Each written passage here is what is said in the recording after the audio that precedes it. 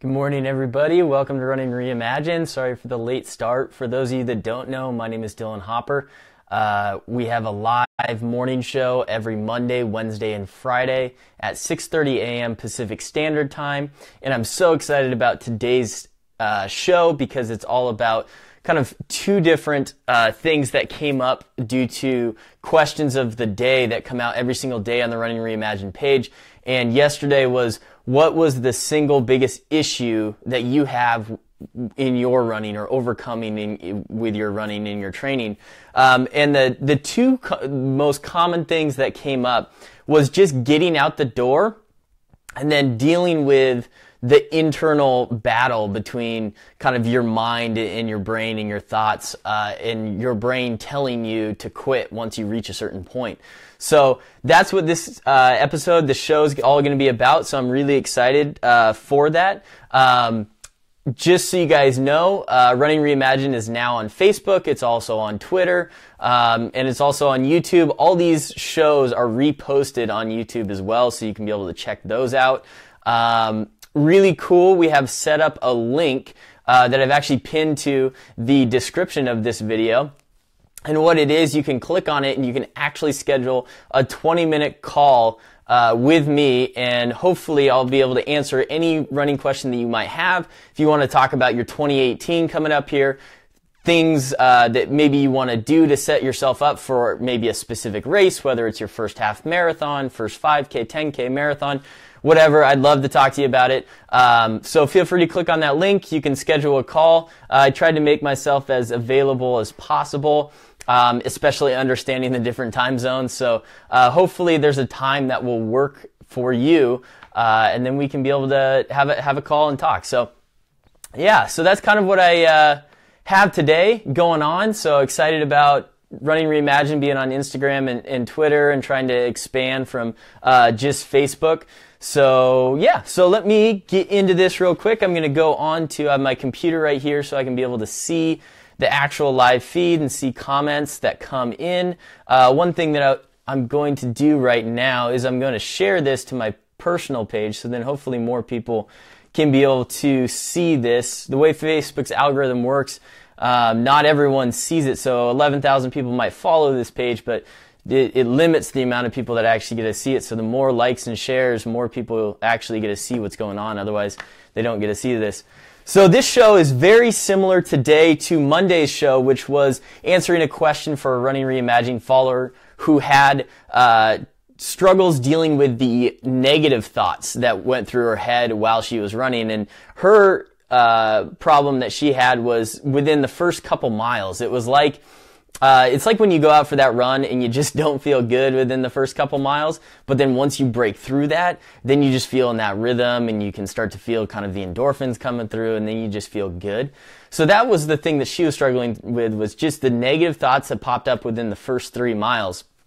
So today's episode is going to be pretty similar to that. There's going to be a lot of uh, crossover between tips, only because your brain still works in the same way. And so, uh, I kind of wanted to attack this in two different parts. So the first uh, thing that had come up on the question of the day of what was your biggest, you know, single most biggest struggle was uh, just getting out, getting out the door.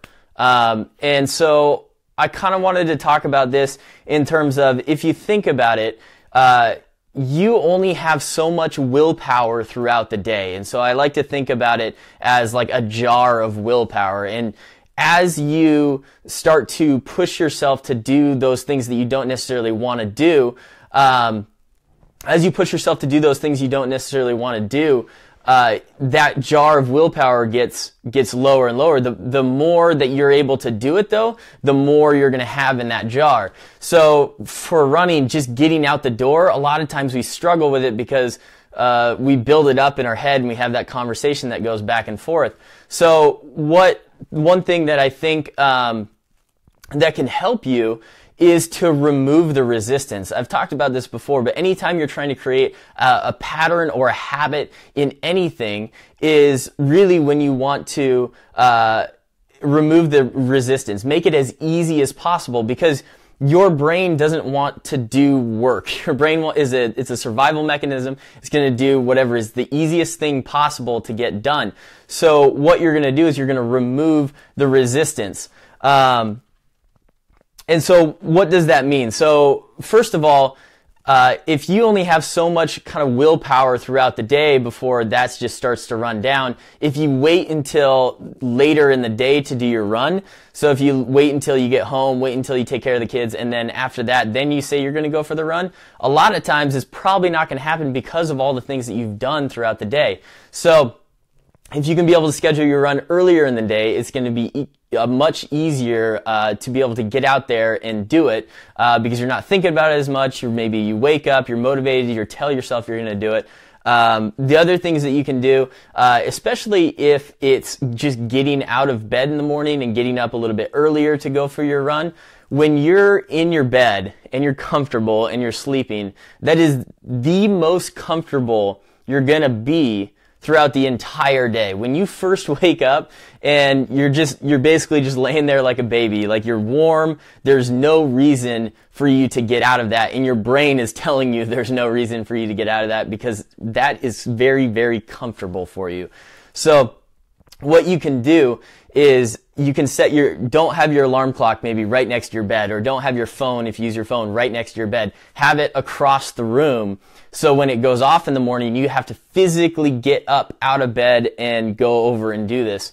Um, I get up pretty early f- when I get ready for these morning running shows, and that's one thing that helped me is, is, if I set my alarm and I put it across the room, I actually have to get up and walk across the way. Just that process of getting up and walking out, then all of a sudden, um, it, it breaks up that pattern and then I'm thinking about what I'm doing next and I'm not thinking about going back to the bed. So if you could do that, then to kind of further that, uh, especially if you want to be able to go wake up and run, kind of move around and run first thing in the morning, have your running shoes and your running clothes right next to where that, wherever that alarm is. So for example, if I want to wake up really early on Sunday because I know I have a busy day and, but I want to get in my long run, so I have to wake up early to do it, I might put my phone, which I use as my alarm, I might literally put it inside my running shoes with my running clothes right next to it. So I get up, I have to walk across the room, and then it's another trigger that's right there, and it just makes the whole process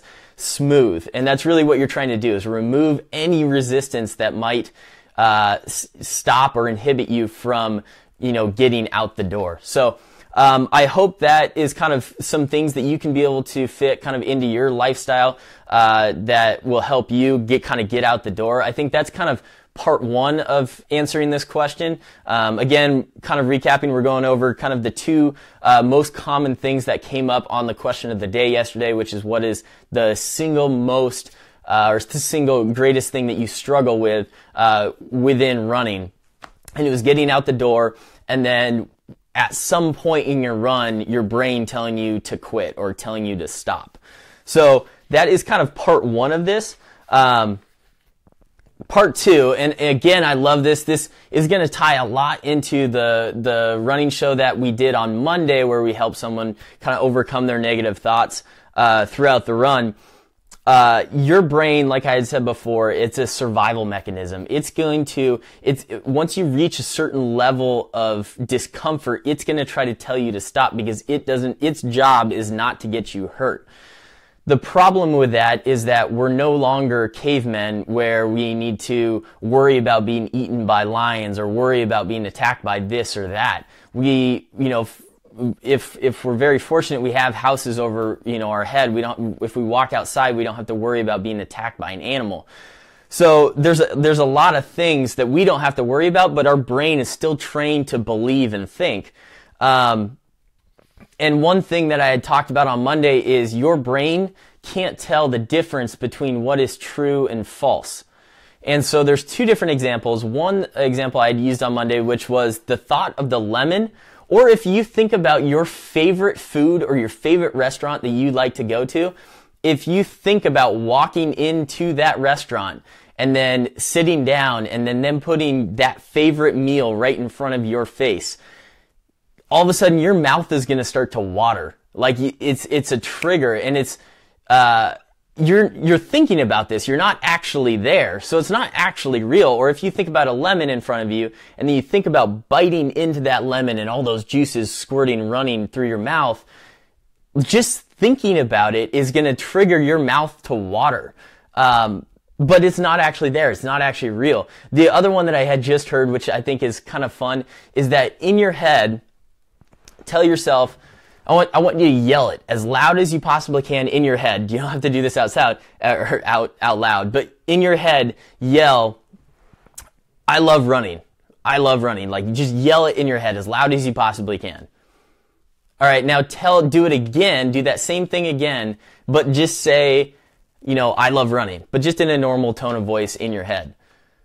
So what the difference is in that is that we actually can't control volume in our inner thoughts because they're not real. We can only con- control tone and pitch, but we can't actually control volume. And you can go back and forth and you can think about this as you're doing it.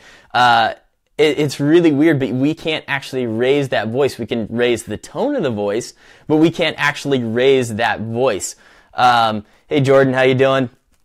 Uh, so having that being, you know, being true while you're going through your run and as your, that voice pops up in your head telling you to quit, one thing to, to think about, first of all, before I go into that, there's a difference that you need to understand between being um, in pain in, in mental pain and then actually being injured. Um, just as there's a difference between being sore and being injured, is that difference between you can push through and you're fine and if you push through, you're going to get more hurt. So understand that it's your body. You understand it more than anybody else. Uh, and so it's important to really pay attention to those cues because if you're going through some sort of physical pain that you feel is an actual injury, then yes, maybe you should stop and quit. But I'm talking about that mental uh, block that just pops up and wants people, tells people to quit over and over again. Uh, there's a few different things that you can do with this. Um, because our brains can't tell the difference between what is true and false, you can create a, a kind of a mantra or a motivation or a, uh, an affirmation, sorry, kind of in your head. And it works really well in running because in running, we're so much in rhythm, right? Where you can feel when, when you're running really, really well, you can feel that rhythm and that pace. And so there's the, if you can come up with one or two sentences that are really, really empowering to you and say them, short sentences and say them over and over and over, and you can say them as you go into each stride, that is going to be, it's going to get within that rhythm of your body and it's going to help you overcome that moment that popped into your head that said, you know, I need to quit. The other thing that, that comes up is that with as you go through your running career and, and different phases, the as you go through like say the phase one, the early phase of maybe like just getting into running, you're gonna have the same arguments pop into your head over and over and over. So these these thoughts of telling you to quit, usually it's you know I I, sh- I should quit or I want to quit, and then you're gonna name X, Y, and Z you know reasons why you should quit. Well, it's going to be the same argument every single time. So what you can do is you can cre- get a running journal and write down what the what the negative thought was and then or why you know you should quit and then write down x y and z write down those reasons and then you're going to put an argument right next to it and you're going to write down the first thought that pops up because uh, like tony robbins has said who's one of the the best motivational speakers personal development coaches uh, in the world, you don't always have control of your first thought, but you always have control of your second. So if that's true, that first thought is going to be, you know, I want to quit. Then what you're going to do is you're going to create an argument right next to it for every single reason why that is BS, why that is false. Um, and so when it pops up on your run, you're prepared. You have prepared statements for exactly what to say. So then it's going to trigger in your brain and you're going to say, no, that's BS because, you know, I've run this distance before. I've run further than this. I've run faster than this. You know, X, Y, and Z reasons for why that is false. And all of a sudden that's going to turn that whole, whole mindset around because as I think we've all felt before, we can go through those moments of doubt or those moments of, you know, wanting to quit. But once we get through it, once we get, you know, a couple minutes past that, all of a sudden we can be feeling on top of the world again. So it's just battling those moments and you're never going to fully overcome any of it. It's always like those moments are always going to be there. Like I had talked about different during the different phases of your career and different phases of running. It still pops up in my mind even after, you know, everything I've already been through between, you know, running um, it still pops up in my head. Even even from when I started to where I am now, those doubts still pop up, and so they're always going to be there. So it's just how you deal with it, you know, is really up to you, and that's how what's going to be able to turn kind of your mindset around. Uh, kind of the next tip that I have to overcoming this uh, initial, um, you know, self doubt or what comes into your head and tells you yourself to quit is to really have a goal and, un- and understand your why. If you have a powerful enough why, if you read about um, some of these guys that do some of these crazy ultras, ultra runs, and you know they're really successful at it, and what drives them to get to the finish line, their their why is so powerful that it doesn't matter what gets in their way, they're going to get to the finish line. So if you can have a why that is really strong, really emotional, really passionate, then it's going to help battle through that those moments of self-doubt. And then also I found that if you have a goal, so if you have a goal to run a marathon, if you have a goal to run a half marathon, uh, just to get to know that you're shooting for something and that what you're doing in this moment as training is going to help get you there, that can also kind of spur you to move past those moments of self doubt. Um, and kind of the last one is uh, this was more as those negative thoughts come up. Again, this is something that I had talked about on Monday, but it's really to, to keep yourself in your box. Uh, my dad, who had just completed his first Ironman uh, up in Ironman Canada, up in Whistler, uh, one thing that helped him was to keep himself in this box. So an Ironman obviously is a super long endurance race, uh, and you can't think about everything that you have coming, but what you think about is just staying in in your box. Uh, so just focusing on, and this box grows and shrinks as you feel, you know, what based on what you feel like throughout the race. So maybe at the beginning of the race, you can feel you can see, you can, you can envision the first few miles. Then maybe you'll hit a certain point and that's when these moments of self-doubt come in and your box is shrinking. But that's when you really just need to focus on those little cues that's going to help get you through. So maybe you're just focused on the next telephone pole or maybe you're just focused on, you know, doing the things that you need to to get you through like pumping your knees, getting the, the, the, the, a nice gait going, or, or maybe you're focusing on relaxing your shoulders or relaxing your jaw muscles. Uh, all those things, just focusing on what's here and now and not focusing on what's out there can also help kind of get you through that.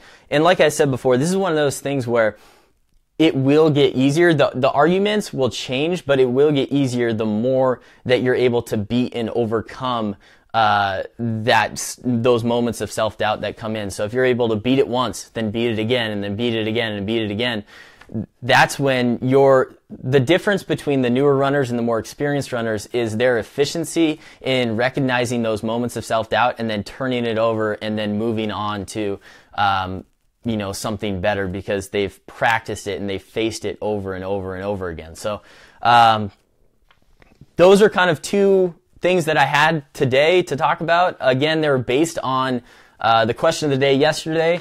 Um, the question of the day comes out every single day on the Running Reimagine page, and it could be something serious uh, or it could be something really goofy. So, um, you know, th- they're meant to be fun. They're meant to be able to learn, and I really think that we can all learn from each other. So, uh, there's th- those certain ones that are deep and uh, impactful. Um, then uh, I, I, really think that if we all kind of share our stories and our tips and different things that help each other, you know, uh, the newer runners can go through the page and read all those, and then they can pick up different tips and tricks.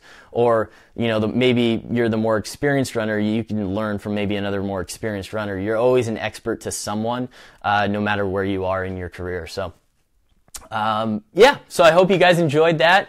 Um, that's kind of what I had for you today. Uh, for those of you that are racing this weekend, best of luck. Have a great time. Um, if you have any questions for me, please just put them in the comments or message me directly. If you want to set up a 20 minute uh, phone call with me to we can actually talk and go over anything you want to in terms of running, whether it's setting you up for 2018 or uh, maybe your next goal. Feel free to set that up in the link in the in this description. Um, so yeah, I hope you guys have a great weekend. And if you don't mind, if you, you know, found this valuable to you and helpful, please like and share this.